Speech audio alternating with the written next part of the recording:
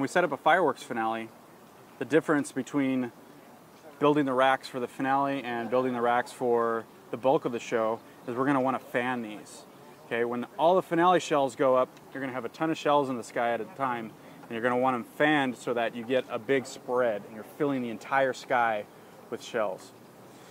The way we do that, when we build the racks, we're going to be cleating them in a similar fashion on the base, okay, using a cleat across the base, making sure the base of the racks are together, except we're going to fan them out. So when we put the cleats in the top, the racks will be secured looking something like this.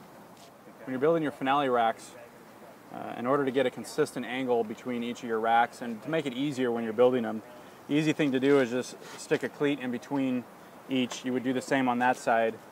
And that way when you're building it, nailing in your cleats, um, you don't have to worry about the angle so much. You know, depending on how much distance you have and how big you can fan your finale, you could go one cleat in between each, or you could do two cleats, so on and so forth. But that way it'll give you a nice, consistent uh, spread across the sky.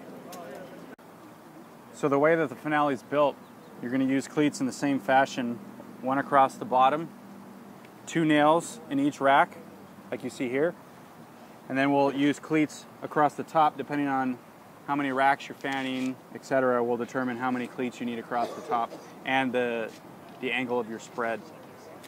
One nail in each rack through the cleat on the top. Okay, name of the game is to make sure they're stable just like when you're building the uh, racks that are all vertical during the bulk main part of your show.